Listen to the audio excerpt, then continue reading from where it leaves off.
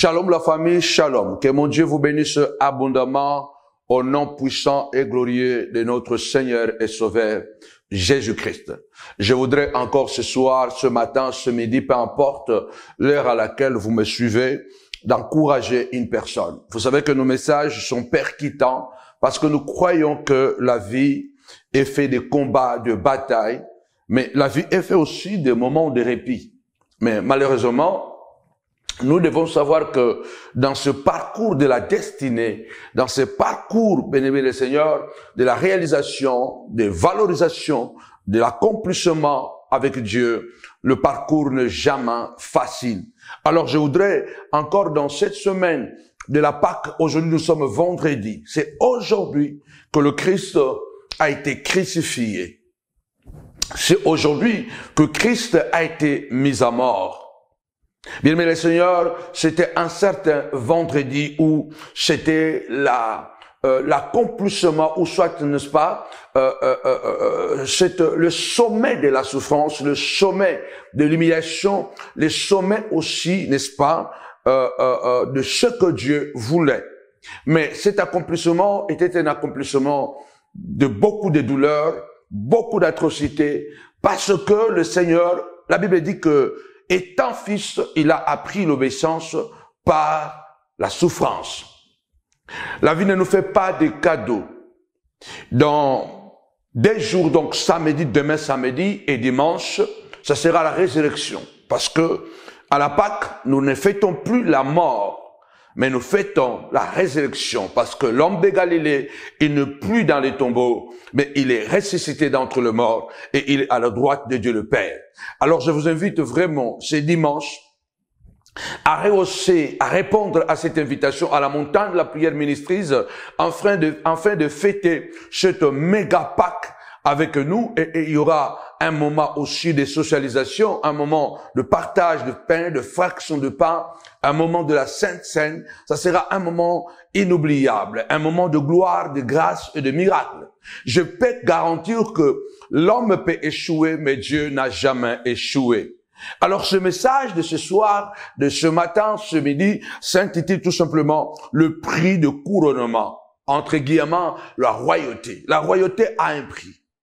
Le couronnement a un prix. Le début de ce mois d'avril, le Seigneur nous a dit c'est le mois de la qualification. Or Dieu ne nous qualifie jamais avant de nous avoir d'abord éprouvés. Il faut que nous soyons d'abord éprouvés par des douleurs, des difficultés, des difficultés, des déboires, de mépris, de l'humiliation, des insultes.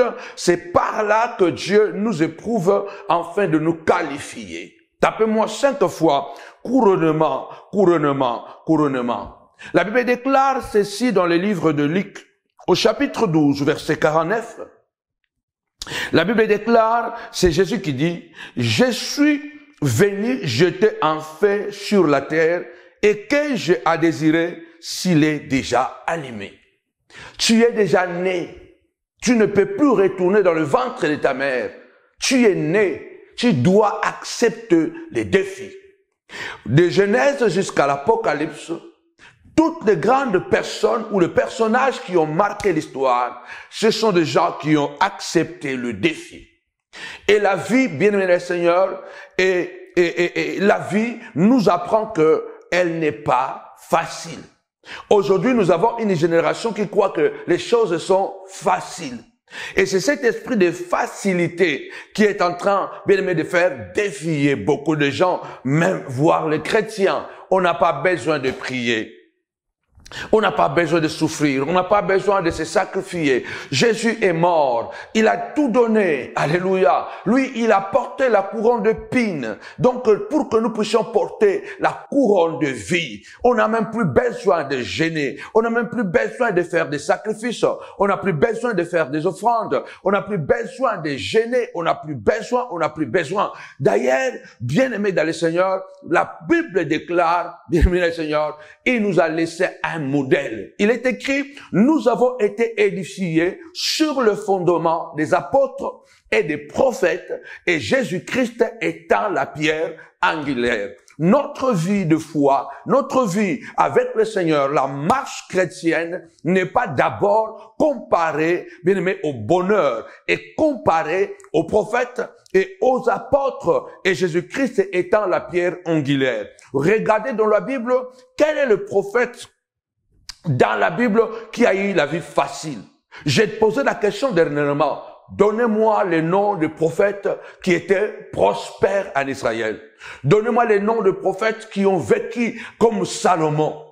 Donnez-moi les noms de prophètes qui ont vécu comme Abraham. Abraham était prophète, ok, mais le prophète a, hein, le prophète proprement dit, ceux qui ont prophétisé, ceux qui ont défié de Baal, les prophètes proprement dit à l'image d'Élie, à l'image de Moïse, à l'image d'Élisée, à l'image de Jérémie, à l'image d'Amos, tous les grands prophètes que nous voyons dans la Bible, Daniel, tous ces prophètes ont vécu de moments difficiles et douloureux. D'ailleurs, les prophètes ont été caractérisés par la solitude, ont été caractérisés, bien aimé le Seigneur. La Bible déclare ils, ils, ils erraient d'une ville à un autre. La Bible déclare ils n'avaient même pas où se reposer, bien aimé le Seigneur. Et quand vous regardez les apôtres, quel est l'apôtre qui était millionnaire? Quel est l'apôtre qui a eu la, vie facile? Et tous ces apôtres d'ailleurs, ils sont morts martyrs. Comme j'aime bien vous dire que le sang de Jésus-Christ, le sang le plus précieux qui existe,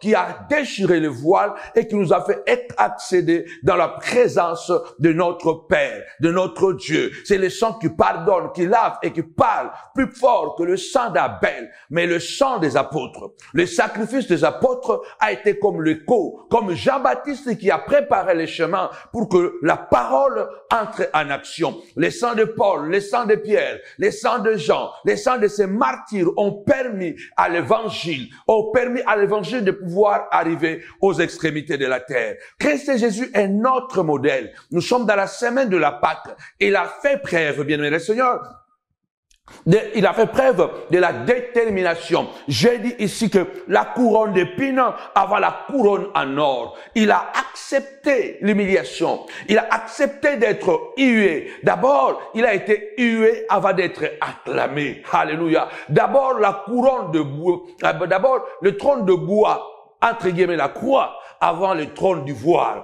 Avant que Jésus aille à la droite du Père, Jésus a d'abord accepté, bien aimé, le trône de la croix. Il a accepté la couronne d'épines avant la couronne voile. Il a d'abord accepté d'être hué, d'être insulté, d'être humilié avant d'être acclamé par les anges. Attention, bien aimé les seigneurs, nous devons être ce que je voudrais dire aujourd'hui, que rien ne doit être facile dans notre parcours. Si nous nous mettons dans l'esprit que tout est facile, alors nous ne serons pas couronnés à la manière de Dieu. Alléluia. Il y a des choses, j'ai dit ici que il faut que sois au boutiste, va jusqu'au bout, en arrière jamais. Il dit, le feu est déjà allumé. Il le feu est déjà allumé, il est trop tard. Bien-aimé, pour ton mariage, il est trop tard. Pour ton pour tes enfants, il est trop tard. Puisque tu as mis les enfants dans ce monde, il est trop tard que tu recules en arrière. Ces enfants doivent réussir. Et c'est par toi. Et c'est grâce à toi que ces enfants doivent entrer dans leur destinée. C'est trop tard. Aucun sorcier, alléluia, j'irai jusqu'au bout. Tapez-moi cinq fois au boutiste. Au boutiste. Un au boutiste, cela veut dire que c'est quelqu'un qui devient récalcitrant. Cela veut dire que je vais jusqu'au bout. Je ne peux plus rien. Puisque je suis parti, puisque je suis entré dans ce mariage, je n'y sortirai pas. Parce que la Bible déclare, le deux deviendront une seule chair. Ah mon Dieu, ah mon Dieu, ah mon Dieu. Les deux deviendront une seule chair. Le jour où vous vous êtes mariés, vous avez dit, jusqu'à ce que la mort nous sépare, jusqu'à ce que Christ vienne. Alléluia. Jusqu'à ce que la mort nous sépare. Il y a des choses aujourd'hui dans le monde, en tant que chrétiens, nous les perdons parce que nous avons appris la facilité. Il y a des choses que nous lâchons prises tout simplement parce que nous avons été mal enseignés. De Genèse à l'Apocalypse, les choses avec Dieu n'ont jamais été faciles. Regardez que la Bible commence avec le toi boi. Toyaboi. Donc ça veut dire que les chaos, l'informe, les vides. La Bible commence, le premier verset de la Bible commence avec des problèmes, commence avec les difficultés. Dieu au commencement créa le cieux et la terre. Et du coup, on dit, la terre était devenue informe et vide. Les ténèbres couvraient la surface de l'abîme. Et Dieu dit, l'esprit se mouvait. Rien ne doit nous empêcher d'aller au bout jusqu'au bout. Tapez-moi cinq fois au boutiste, au boutiste, au boutiste. J'ai dit ce soir que ce message doit te booster. Ce message doit doper ton caractère. Rien ne doit être lâché au hasard. Il faut, dans certaines situations, nous devons nous radicaliser. Dans certaines situations, si on veut des résultats concluants, nous devons nous, radicaliser. Il faut se radicaliser pour aller jusqu'au bout. Si tu veux atteindre le couronnement, le couronnement, c'est le sommet, c'est la récompense. Alléluia. On gagne le trophée uniquement après que nous avons combattu. Lève ta voix et dis avec moi, je suis un oboutiste. Alléluia. J'irai jusqu'au bout. En arrière, jamais. Bien aimé dans le Seigneur, la Bible dit, au commencement, Dieu a eu des problèmes. Mais l'Esprit de Dieu se mouvait au-dessus des eaux. Et Dieu qui avait la vision de créer l'homme, à son image, à sa ressemblance. L'informe ne pouvait pas l'arrêter. Le vide ne pouvait pas l'arrêter. Le ténèbre ne pouvait pas l'arrêter. Aucun sorcier, aucune circonstance ne doit mettre frein à ton parcours. Il est normal et naturel qu'il y ait des problèmes dans notre parcours. Nous allons rencontrer des Judas. Nous allons rencontrer des Judas qui vont nous trahir dans notre parcours. Les gens que nous allons faire confiance. Les gens que nous allons nourrir. Les gens avec qui, quand tu dors, tu te réveilles, tu penses à lui. Dès que tu as un rêve, c'est à lui que tu le racontes. Il connaît bien ton boîte, ta boîte noire. Nous allons rencontrer des Judas qui iront nous trahir dans le parcours. Mais d'ailleurs, ce sont ces Judas-là qui doivent permettre à ce que nous puissions entrer dans l'autre royauté. Je vois la royauté. Je vois la royauté pour toi et tes enfants. Dans notre parcours, nous rencontrerons des serpents. Des gens qui vont nous détruire de l'intérieur. Les gens, bien aimés le Seigneur, avec qui nous allons faire conscience. La Bible déclare Adam a donné le nom à tous les animaux. Et à cet animal, il a appelé serpent. Un joli nom, serpent. Les personnes peut-être que tu as nommées, les personnes que tu as fait confiance, les personnes que tu as propulsées, ce sont ces personnes-là qui feront en sorte que ton mariage va en fumer, puis se casser. Ce sont ces personnes par qui le diable va passer pour te déshabiller, pour que tu perds. Adam a perdu le jardin. Je voudrais dire à quelqu'un, peu importe ce que tu as perdu, dans le parcours, nous allons croiser des gens comme Saoul. Tu peux venir prier pour lui. Les démons sortaient quand David chantait, mais Saoul était en rage. Son, son objectif était de tuer David. Nous allons croiser des gens comme Aman. Les gens qui vont nous regarder avec bizarrement, avec un œil bizarre, qui seront tellement en colère contre nous, au point de vouloir non seulement nous détruire, mais détruire même nos femmes, nos enfants. Mais tout cela ne doit pas nous arrêter. Le Seigneur a dit, je suis venu allumer un feu. Le feu est déjà allumé. Je ne peux pas retourner en arrière. Il dit, je vais être baptisé d'un baptême que vous ne connaissez pas. Quel était, ce baptême? Ce baptême était la trahison. Ce baptême était les insultes. Ce baptême était le jour, alléluia, le jour de la passion, la, la nuit de jeudi à vendredi. La nuit de jeudi à vendredi, la passion, à Gethsemane, quand il pleure, quand il pleure, il dit, mon âme est angoissée jusqu'à la mort. Mais il dit, je ne peux pas. Au moment où il est en train de prier, il dit, Père, si cela est possible, éloigne de moi cette coupe. Mais non pas ce que je veux, mais ce que tu veux. Alléluia. Lorsque Pierre prend l'épée, il coupe l'oreille de Malchut, qui était le serviteur du souverain sacrificateur. Qu'est-ce que Jésus lui dit? Il dit, remets ton épée. Je ne boirai-je pas la coupe je dois boire cette coupe. C'est pour cela que je suis venu, Père. Je ne peux plus renoncer. Lève ta voix, déclare avec moi, je ne renonce pas. Peu importe les situations que tu traverses, peu importe la haine, la jalousie que tu vis, il a vécu plus que nous. Lui qui était le roi des rois, le seigneur des seigneurs, lui qui était Dieu parmi nous. Alléluia. Mais ce jour-là, il a été hué. Il a été hué. Si tu es roi, montre que tu es roi. Il a été couronné d'épines.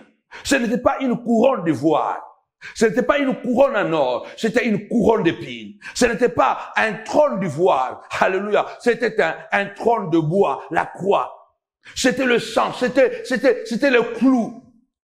Oh, la Bible déclare, bien mes Seigneur, on criait, on a craché sur lui, mais il a dit, je dois arriver. Je déclare que tu dois arriver. La Bible déclare, il nous a laissé un modèle. Il a dit, celui qui met la main à la charrie et qui regarde en arrière, il n'est pas digne de moi. Je bénis le Seigneur pour ta vie. Christ en toi, l'espérance de la gloire. La Bible dit, créons l'homme à notre image. Dieu nous a créés à son image. Tu es l'image de Dieu. Tu as un potentiel. Je vois le couronnement. Alléluia. Ton mariage sera couronné. Alléluia. Ton travail sera couronné. Le ministère sera couronné.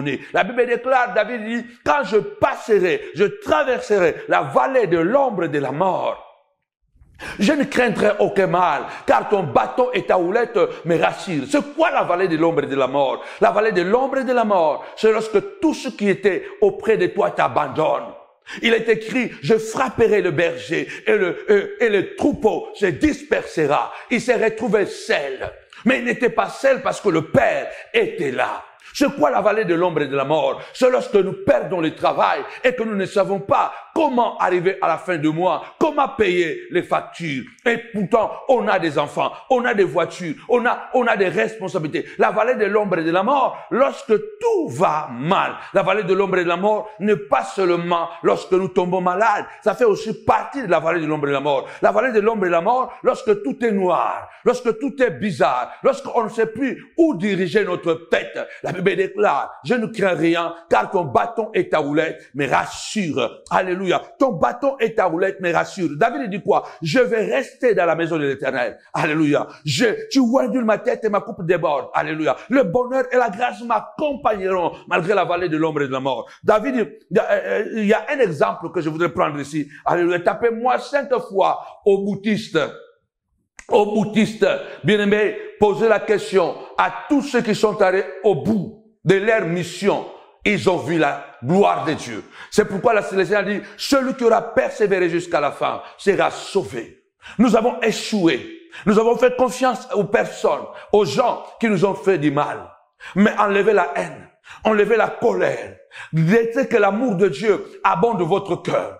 Tracez votre chemin. Alléluia. Soyez déterminés. Il a demandé pardon, pardonnez-les. Il n'a pas demandé pardon, continuez votre chemin. Alléluia. Continuez votre chemin. Parce qu'il y a des gens qui viendront demander pardon.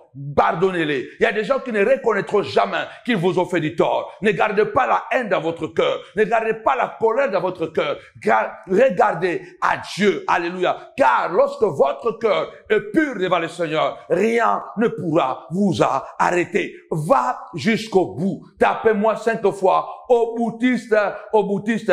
Toute personne qui est au boutiste, c'est quelqu'un qui s'est radicalisé. Ça veut dire que c'est quelqu'un qui ne peut plus retourner en arrière. Il y a un très bel exemple ici de, de l'apôtre Paul. Paul était un radicaliste. Paul était un vrai radicaliste, un vrai oboutiste. Alléluia. La Bible déclare dans Actes chapitre 14, 19 à 22, Paul a été lapidé. Lapidé, bien aimé le Seigneur, parce que il était en mission à l'Istre et il était convaincu de continuer la mission. Il était là-bas pour établir des anciens et tout ça. La Bible déclare Paul a été lapidé au point que il est écrit, on l'a jeté dehors de la ville pensant qu'il était mort. Tu ne mourras pas. Tant que tu n'as pas accompli la mission de Dieu sur la terre, aucune lapidation. On peut te lapider dans la sorcellerie sans effet. Oh, alléluia. Parce que la Bible déclare, toute arme forgée contre toi sera nihilée et sans effet. Ne baisse pas les bras. Tant que nous restons en route, tant que nous restons debout sur le ring, la force du Seigneur est sur nous. Il nous donne la vigueur de bifle. On l'a jeté dehors. Les apôtres, les disciples sont allés l'entourer. On priait pour lui. La Bible déclare, il s'est réveillé et puis il est retourné dans la ville. Il faut continuer coûte que coûte, parce que notre parcours, c'est le couronnement. Je serai couronné. Tu seras couronné. Cette couronne, cela veut dire que c'est la capacité que Dieu a de récompenser ceux-là qui ont combattu et qui combattront jusqu'au bout et qui marcheront dans la crainte de Dieu et qui feront la mission que Dieu les a confiée. Parce que la Bible déclare, Dieu n'est pas injuste pour oublier le service que vous avez rendu et que vous rendez encore au sein. L'apôtre Paul se réveille et puis il entre dans la ville, il dit quoi? C'est avec beaucoup de souffrances et de tribulations que nous allons entrer dans la gloire. C'est avec beaucoup de douleurs, beaucoup de souffrances. Toutes les personnes qui ont des familles stables aujourd'hui, qui ont des enfants instables aujourd'hui, parce qu'ils ont payé le prix. Ils ont payé le prix. Tu ne peux pas avoir un couple stable dans une génération perverse. Tu ne peux pas avoir des enfants équilibrés dans un monde perdu, dans un monde de, Sodome et Gomorre, sans que tu payes un prix. Ça veut dire que le papa a payé un prix. Maman a payé un prix. Je connais une maman, maman Eva, qui est avec moi à l'église depuis le début que je suis ici à Paris jusqu'à présent. Cette maman a élevé pratiquement ses enfants toute seule. Mais tous ses enfants ont réussi. Pourquoi? Parce qu'elle s'est confiée à Dieu. Elle a passé une vie de douleur, une femme battue, une femme malmenée. Mais malgré cela, elle a gardé la foi. Elle n'a pas nié Dieu. Elle a continué à prier. Elle a continué à se consacrer à la prière. Elle a continué, bien aimé Seigneur. Dieu n'est pas un homme pour mentir, ni être humain pour changer d'opinion. Il y a encore des femmes aujourd'hui, bien aimé Seigneur, sans mari, mais ils réussissent faut que leurs enfants réussissent. Pourquoi? Parce qu'ils sont des oboutistes. Dis avec moi, je suis un oboutiste.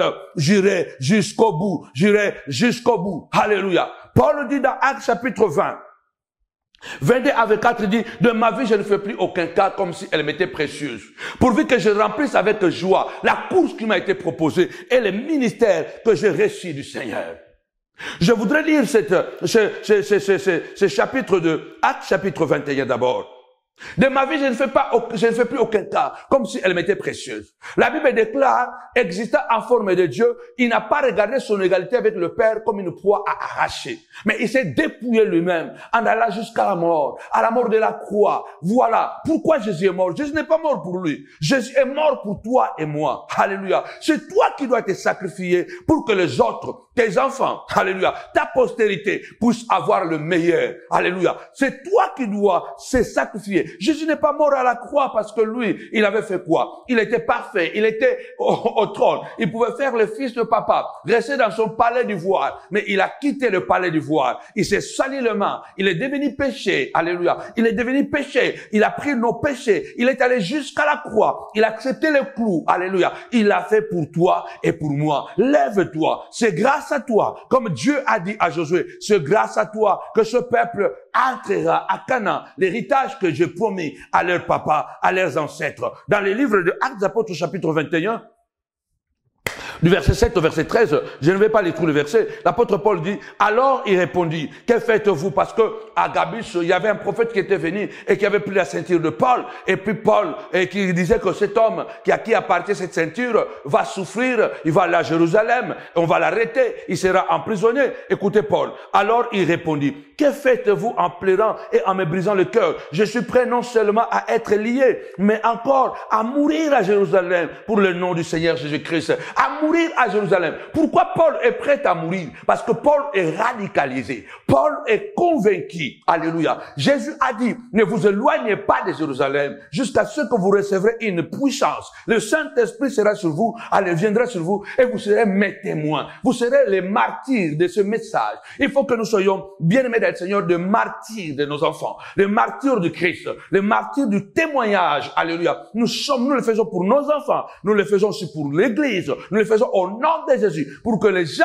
qui sont loin, qui nous regardent et qui les voient et qui disent que Dieu est vivant. Nous devons mourir pour le Seigneur. Mourir pour le Seigneur, ça veut dire que marcher dans la sainteté, éviter le scandale, ne pas être de pierre d'achoppement, en secret ou en public. Nous devons être, bien aimés, la lumière du monde, les sel de la terre. C'est ça, mourir pour le Christ. Nous sommes jeunes. Je peux aller aussi moi aussi faire comme les autres, mais je meurs pour le Christ parce que je suis le sel de la terre. Je suis la lumière du monde. Le monde est plein de ténèbres. Il faut que le monde soit sauvé par la lumière. Or, c'est moi qui suis la lumière. Le monde est plein d'amertume. Moi, je suis le sel. Je dois impacter le monde. Mourir pour le Christ, c'est refuser de vivre dans la chair.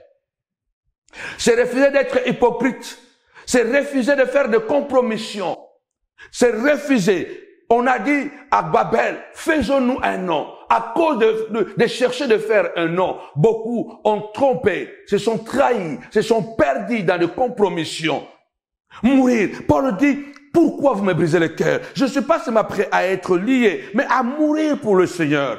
L'apôtre Paul est en train de dire quelque chose d'incroyable ici. Il dit, cinq fois, quarante, cinq fois, j'ai reçu quarante coups, moins un, auprès des Juifs.